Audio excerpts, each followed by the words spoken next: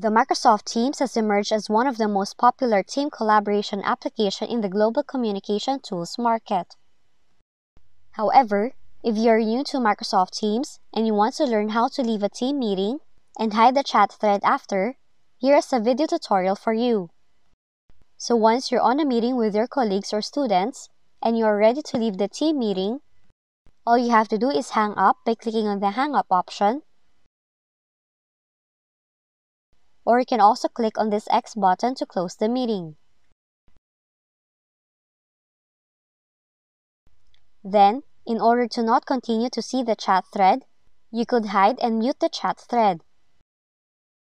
You can do that by clicking More Options or the three dots on the right side, and then select Hide. After this, the chat thread will be removed from your recent chats, and you will no longer receive notifications of updates of the chat thread.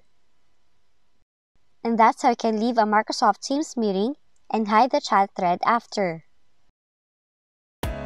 If you found this video helpful, kindly like and subscribe. You may also click and turn on the notification bell so you can be notified from whenever we release new videos.